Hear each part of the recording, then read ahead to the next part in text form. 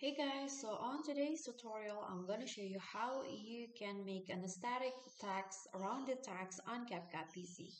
So here I've already added a video and I, I want to add text, but I'm going to make it rounded and here's I'm going to show you how. So first, just go to text at the top and then click on a plus icon to add your text and edit it here in uh, the text box and type in your text.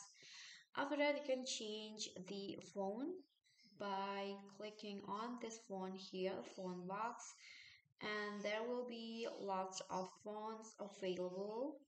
You can just choose which one that you want to use. I'm going to try using this case sage i think okay and then after that you can change the color uh, but i'm going to just leave it as it is and to make it rounded, you need to go to animations at the top. And then go to the loop. Here loop and then find the rounded animations. So just scroll until you find rounded or uh, rotate i mean sorry about that. Okay so this one right here so just click on that. And you know that you can see that the speed is too much. I'm going to lower it I'm going to drag it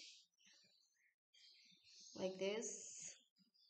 Okay I'm going to go with that and you can adjust the duration like this. And here I'm going to uh, adjust the position. So like that. So when you play the text will be rounded and it will be rotating like this Okay, so I think that's all. I hope this will be helpful. So thank you guys more for watching. Don't forget to click on the thanks below, leave a comment, subscribe, and like this video. I'll see you all on the next tutorial. Bye.